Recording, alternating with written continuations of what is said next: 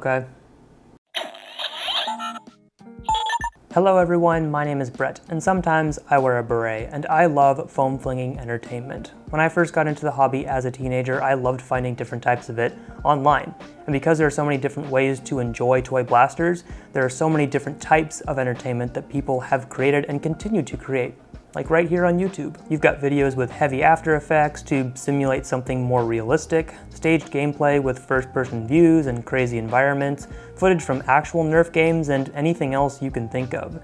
Depending on your age, you might find some types more cringy than others, but at least they're trying their best, at least they're willing to put themselves out there and create something. But what has Nerf put out in the past? Well, Quite a lot, actually. Dart Tag League and Championship of 2009, Funny or Die sketches, Dude Perfect challenges, animated zombie strike stories, firing darts in slow motion, Nerf Nation show with Zach King, the Nerf Ultra 1 Championship, please don't make me talk about that one. Nerf's catalog of foam flinging entertainment is extensive and frankly all over the place. And while not all of it may appeal to you, it is interesting to see what they put out as an entertainment slash marketing strategy. Yeah, I should clarify. I get that all of this content exists to sell toys. The goal of a toy company is to sell toys. I'm not saying that's a bad thing, I'm just saying that's what it is.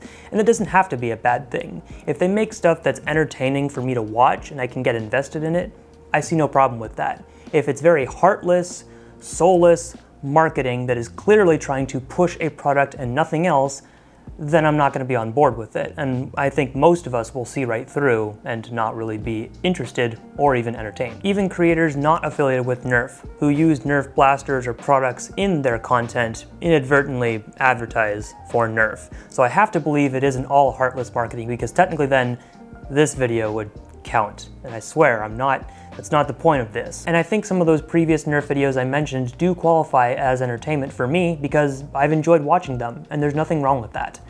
But we're not here today to talk about the ones that worked. We're here today to talk about the one that did not work. And that is Nerf House. Nerf House premiered in March 2020 on YouTube and on Instagram from Nerf Official and one of the series stars, Julian Edelman's channel.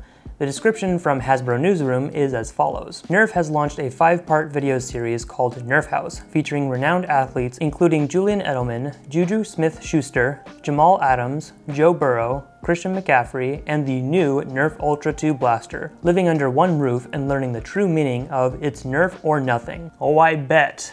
And the Ultra 2 is a character now. Cool. Does it talk? Does it also play for the NFL? In the Nerf house, the only rule is that there are no rules. Eh, okay, maybe a few rules. You can check out episode 1 on Julian Edelman's IGTV, with new episodes launching every Thursday. Pretty vague overall, other than it's a five part series featuring five NFL stars and the Nerf Ultra 2. I mentioned this was posted on YouTube under both Julian and Nerf's channel because for the five of you saying, Brett, Nerf's YouTube channel is marked as for kids, uh, so you can't be critical of this series.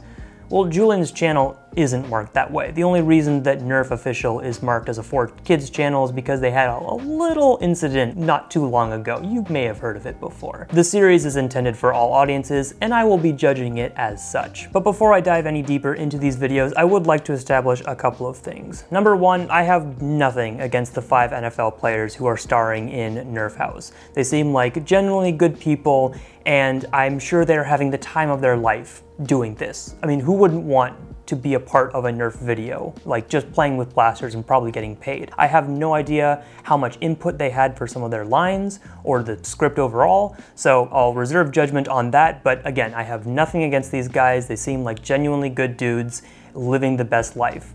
I'm just jealous, right? Second thing is that this is clearly a professional filmmaking job and it is not comparable to a standard YouTube video uh, like you're watching right now. I understand that making this kind of a production work requires a lot more planning, a lot more scripting. Every piece coming together is a completely different scenario and it has a lot less creative control than just me sitting in front of something and making a video for YouTube. I get to say whatever goes into this video.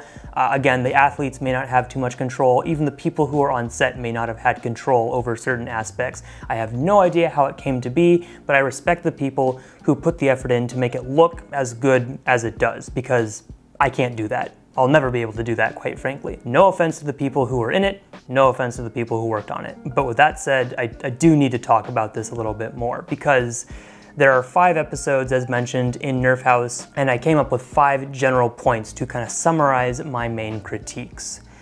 And here we go. Point number one, the house is barely used. The series is called Nerf House. It starts and ends with a static shot of a large, fancy house. Why do I feel like we never get to see the full potential of this house?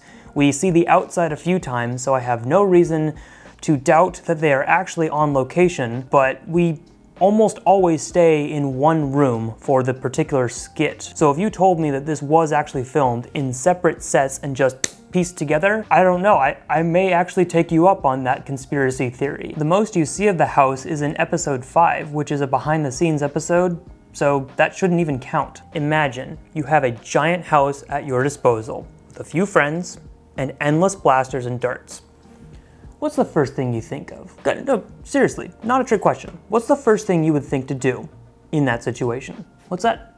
Have a major full-scale house battle? Congratulations, you're right.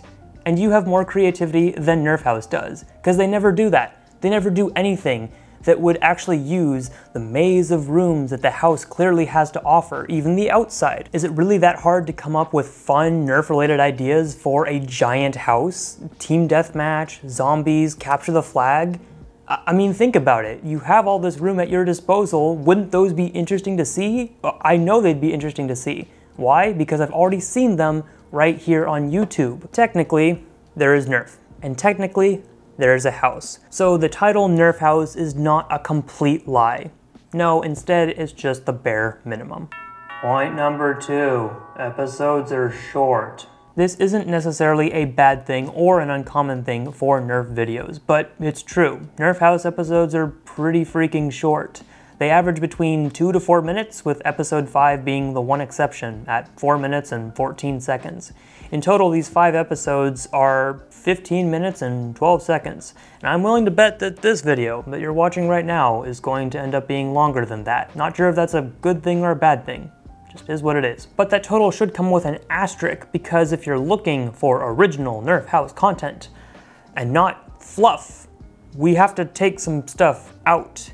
Each episode has the same introduction that's about 30 seconds, an ad anywhere from 15 to 30 seconds, and then typically a next episode teaser uh, around 20 seconds. Now, since the teasers almost never pan out, they never go anywhere, I'll include that with original Nerf House content. Despite these episodes appearing to be short, they're actually even shorter and so the real total for all five of these episodes is closer to 11 minutes. Now this breakdown may seem unnecessary because obviously quality is more important than quantity. These may be the most important videos you've ever seen in your life. Ever. Well, Fortunately, every other point I'm talking about quality, so in this case I am talking about quantity. Uh, the reason that the duration of these videos bugs me so much is because Nerf made a big deal about this series. They got a full camera crew, an expensive location, uh, NFL players, um, to bring us the pinnacle of foam flinging entertainment. And this is it? How many hours? How many days did it take you to film just to get 11 to 15 minutes? I don't know the budget of Nerf House, but if it was my money, I would be really disappointed with only getting this much out of it. Maybe there is more footage they're waiting to release, or maybe it really just was filmed in a day, eight hours. I may never actually know the answer.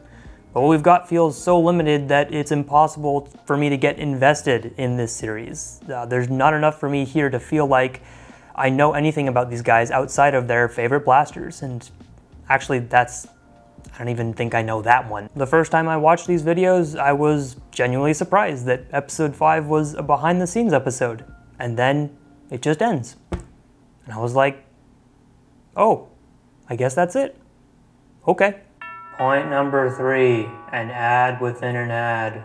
I did touch on this feature a little bit in the previous point, but I do believe it deserves its own recognition. As I mentioned from the beginning, I get it. A toy company wants to sell toys. Just make it interesting, make me care. And that's what Nerf House is, right? The intent is to be an advertisement. I get it, but there's there's an ad within this advertisement. In each Nerf House episode, there's a built-in commercial break, not an ad break where they can throw in an ad and it might be something else. No, no, no, it's in the video. We'll be right back after these messages. It's anywhere from 15 to 30 seconds, depending on if it's an ad for the Ultra 2 or for Ultra Screamer darts. So not very long, but it's clear they're showcasing a particular product. The ads themselves aren't bad, but each Ultra 2 ad features a different NFL player showing that their favorite blaster is the Ultra 2, which is kind of weird, but then it also ends by saying that professional athletes are sold separately, and I do think that's kind of funny. For the Sonic Screamer darts, Julian yells again, but then obnoxious screaming is not included. It's self-aware, and I, I, do appreciate that. Obnoxious screaming not included. These ads seem like something that Nerf would place on platforms like YouTube or Instagram, or heck, even run during commercial breaks on television. Nothing wrong with that, even if they're used to advertise the Nerf House series. But why include them in Nerf House videos? Isn't it weird to pause everything that's happening in the video you're watching for an ad about a blaster that's in the video that you're watching? It's like, hey, look at this thing. Look at it. Look at it. Look at it. ad within an ad. Adception. I just, it's just so weird. I don't like it. Point number four, the teams. I shouldn't have to complain about this because it's the most basic concept. There are two teams in Nerf House, orange and blue. Orange has three teammates, while blue has two. Why are the teams unequal sizes? Come on. Doesn't it make sense to have the same number of players on each team? Wouldn't that lead to better matchups or at least the perception of competition? When I was first watching, I thought Joe was a wild card player because he's always wearing a gray t-shirt. Juju and Julian are always wearing blue sweatshirts, while Christian and Jamal are always wearing orange sweatshirts. But no, Joe's always got an orange bandana on his head, so that makes sense. Seriously, why go to the trouble of matching team outfits when this is the result? He looks so out of place in the center as well. I really don't get it. You may also assume because there are teams that any house antics would be between orange and blue. Well, in episode 1, uh, the orange team smears peanut butter on Julian's Ultra 2. Alright, cool. And then the only full-on battle in episode 4 does see the orange team take on the blue team until Julian decides to fire at literally everyone and declare himself the winner. Other than that, we really only see Joe and Christian messing with each other, and they're both on orange. So I gotta ask, what's the point of having teams? Maybe just give everyone separate color shirts and tell them to go for it. It's like the teams only exist when the script requires them to. This feels like such a petty thing to rant about, but the more I think about it, the more perplexed I get. Seriously, if you establish teams, clear-cut teams at the beginning of the series, then the script should really start writing itself.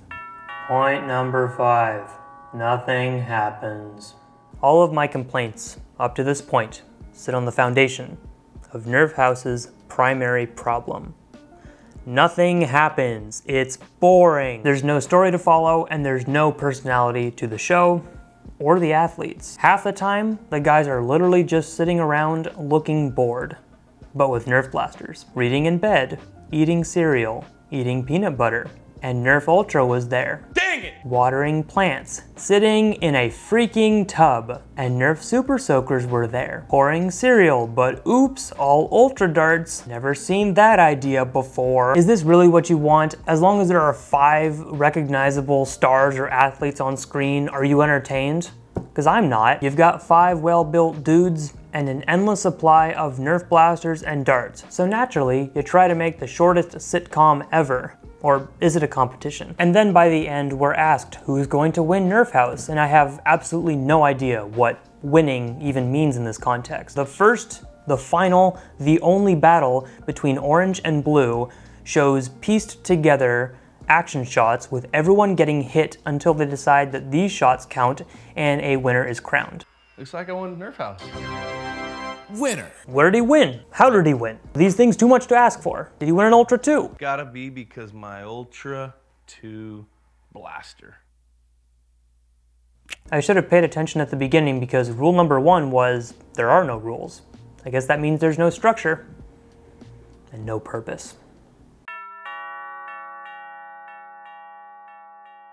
While Nerf House fails to impress me on many levels, I have to admit I don't find the series to be cringy. Sure, there are some moments, but most of the time it's tolerable. Good night. Ultra 2. Boring doesn't equate to cringy, and come on, they'd have to try really hard to include something that could make me think otherwise. It had to be much worse. Uh, it's certainly not something that you can do in five episodes.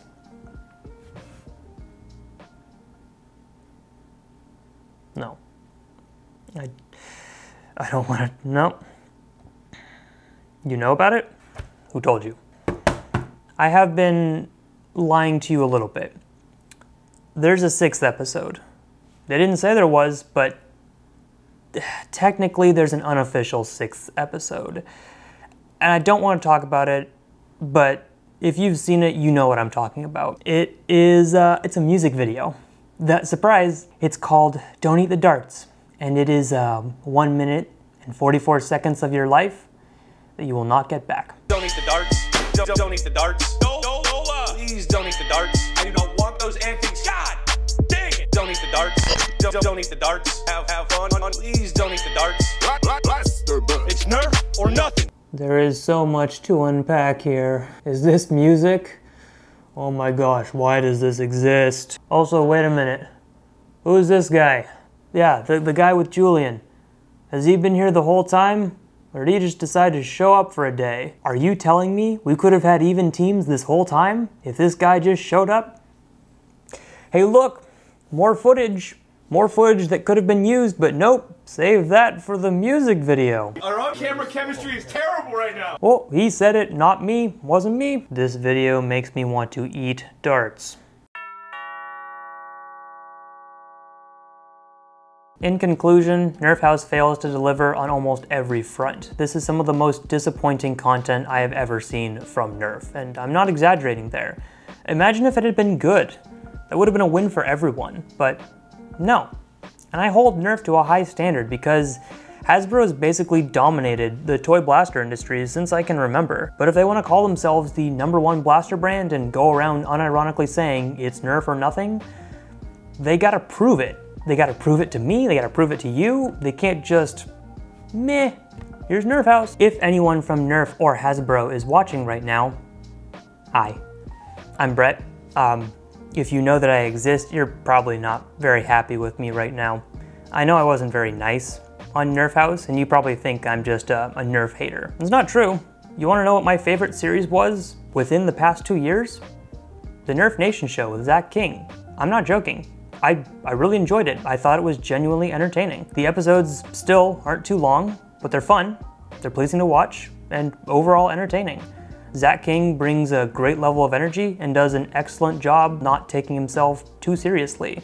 You can tell he's having a great time with his team, also a giant nitro car, and I want it. I've talked enough about Nerf House for today, but I am curious to hear what you guys think. Is this the first time you've ever heard about Nerf House, or have you already watched through the series? If you have and you think I'm completely wrong, let me know in the comments section down below. I'd love to hear some of those arguments. They did already make a Nerf House Season 2, and if you'd like to hear my thoughts on that, let me know as well, because it is a little bit different than this Season 1. Maybe it got better. Maybe it got worse. Let me know if you'd like to see the follow-up. Thank you everyone so much for watching, and I'll see you next time.